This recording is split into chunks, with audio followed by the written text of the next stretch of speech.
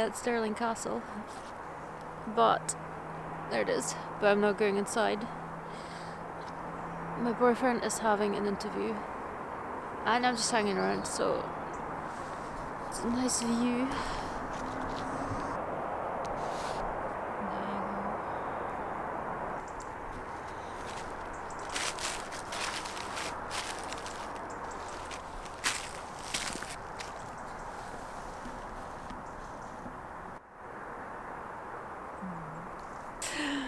Should I follow this path maybe?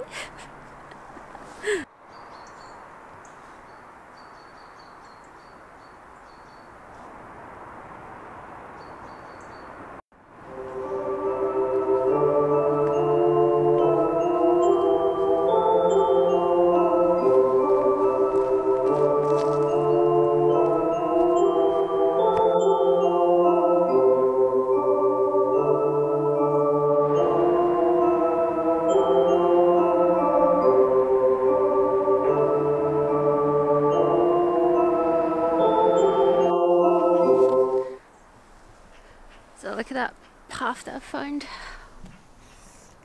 and that's what we're planning to do later on. Go to the Wallace Monument.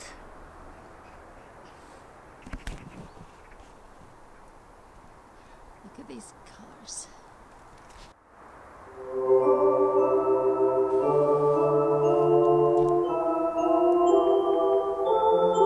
I ended up on Gowan Hill, which used to be a hill fort. And just as I was filming, I got a phone call from my boyfriend saying that because he had an interview, he was uh, able to go into the castle for free, and I was able to come with him. So I thought, well, why not take the opportunity and do a little bit of filming? So here we are at Stirling Castle. So as you have seen earlier, it is on a rather steep rock so it has a really strong defensive position and it was really sought after and it changed hands quite frequently. During the Wars of Independence alone it changed hands eight times. The oldest part is roughly from the 12th century. They haven't really found archaeological evidence for any earlier settlements even though it may have also been a hill fort. But the present buildings are mostly dating between 1490 and 1600. It used to be a traditional coronation place of Scottish kings, including Mary Queen of Scots, who was crowned here in 1542. And in fact, she also would have grown up here as a very young child before she was sent to France.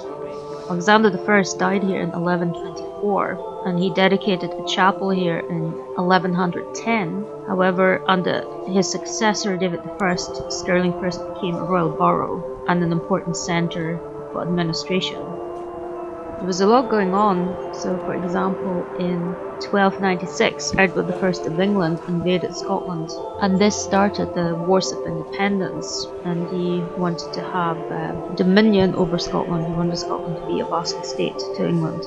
The English occupied the castle, then lost it during the Battle of uh, Stirling Bridge, they regained it during the Battle of Falkirk, and they lost it again, and they just keep going back and forth.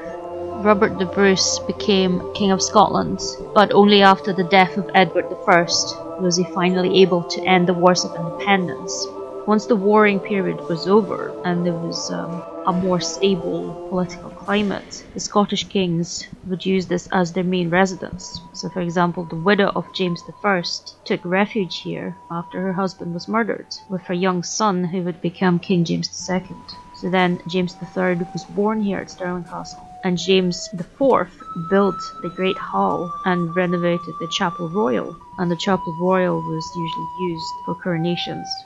James V, as a young boy, was crowned at Chapel Royal after his father's premature death at the Battle of Flodden, and James V was the one who built the royal palace. Now he unfortunately died young and left his wife Marie de Guise with the young Mary Queen of Scots in charge. Here you can see some of the famous uh, unicorn tapestries.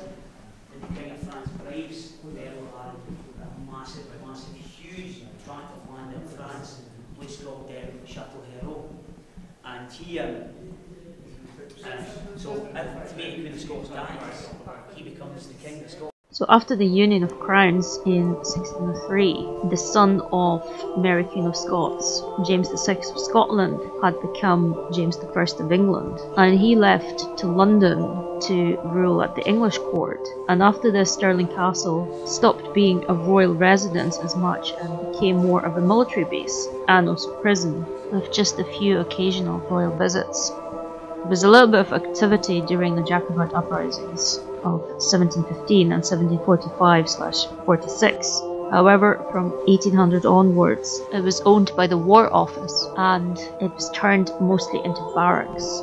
The Great Hall was altered to hold accommodation and had extra floors put in. The Chapel Royal became a lecture theatre and dining hall. The Royal Palace became the officers' mess once they decided that they were going to open it up to the public, they started the restorations of putting it all back together. It cost them about 12 millions to do that.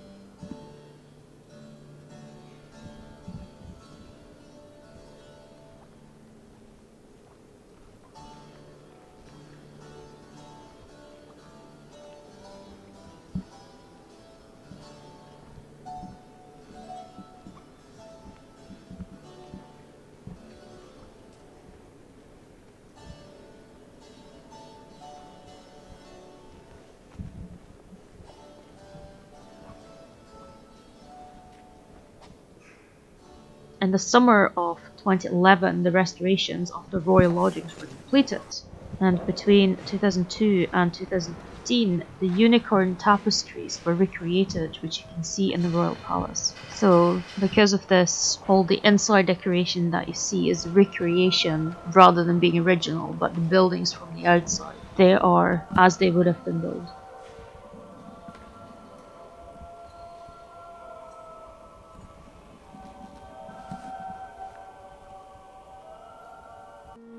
Now, it was a military base until 1964, however, it still counts as the headquarters of the Argyll and Sutherland Highlanders Regiment, and they also have a museum at Stirling Castle.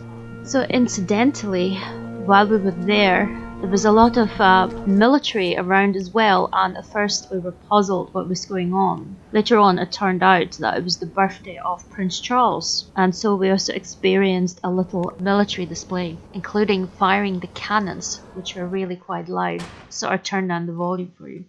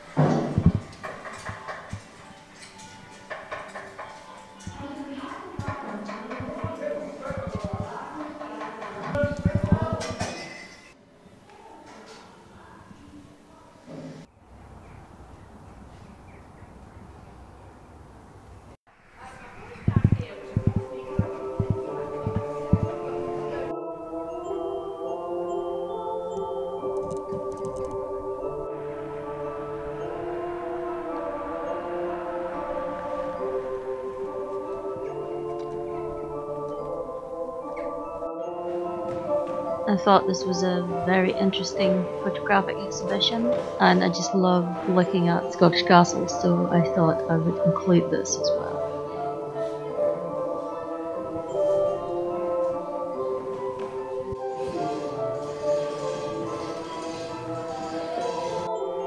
And this is a little bit about the process of recreating those tapestries.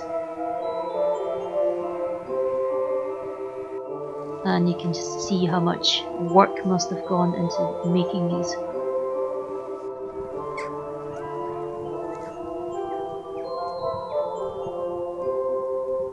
Are we actually gonna get to the Wallace Monument? Who knows?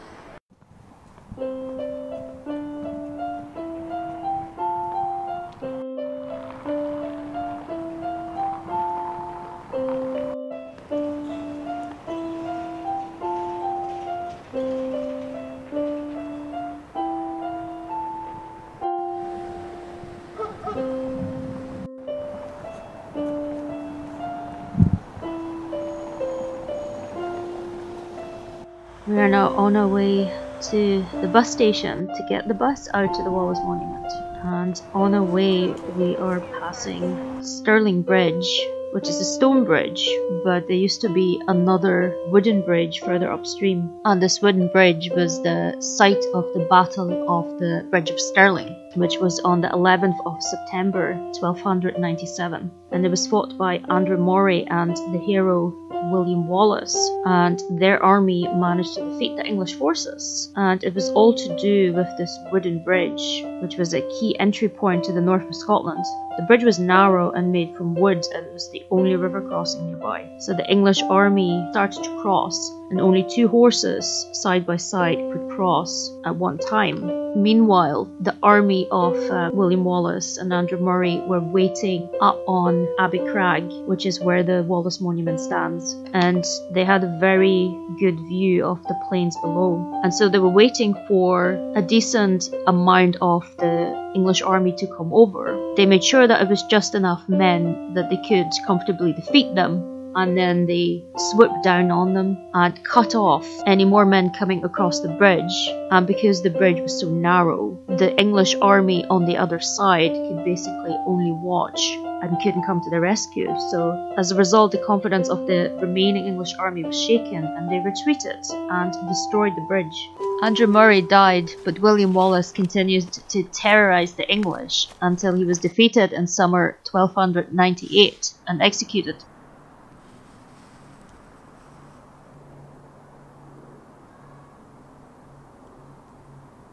So this is a viewpoint, but it's not much of a viewpoint anymore.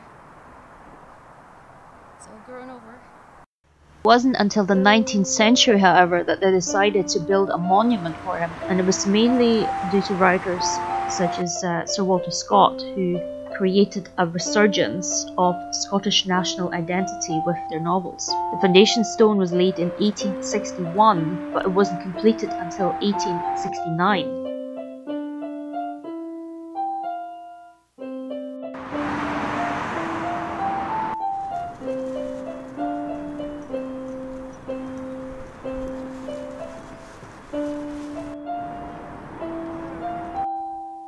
That's our day coming to an end. We are waiting for a train back home. So thank you once again for watching and hopefully I will see you for the next video as well.